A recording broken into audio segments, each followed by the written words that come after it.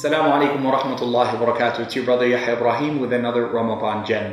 One of the secrets of the month of Ramadan is increasing our love.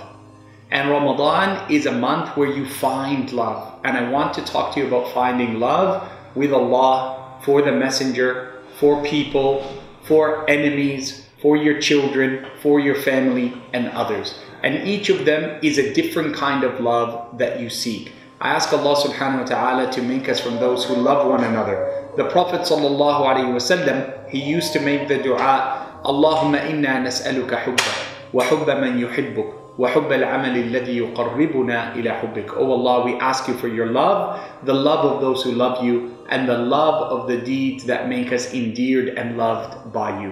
Nas'aluka hubbak wa hubba man yuhibbuk wa hubba al-amal alladhi yuqarribuna ila hubbik.